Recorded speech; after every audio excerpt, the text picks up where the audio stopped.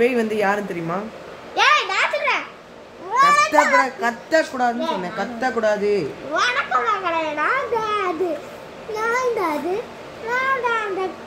அந்த ஜோக்கர் இன்னைக்கு எங்க அண்ணாக்கு எந்த சொல்ல எல்லாரும் போயிட்டோம் ஆனா இவங்க எப்போதும் தூங்குவாங்க. அதனால இவங்க ஒரே தூங்கு. நீ தூங்க நீ தூங்கிட்டு என்னைய சொல்லாத நீ. இல்ல இல்ல. ஒன்று சொன்ன சொன்ன நான் சொல்றேன். சாயங்காலம் வந்து இவன் ஃபுல்லா டயர்ட் ஆயிட்டு குப்புறப்படுத்து தூங்குனா அப்புறம் என்னைய போய் சொல்றான் பாருங்க. அவங்க பொய் சொல்றாங்க நான் நான் அப்படி பண்ணவே இல்லை. அவங்க சும்மா பொய் சொல்றாங்க.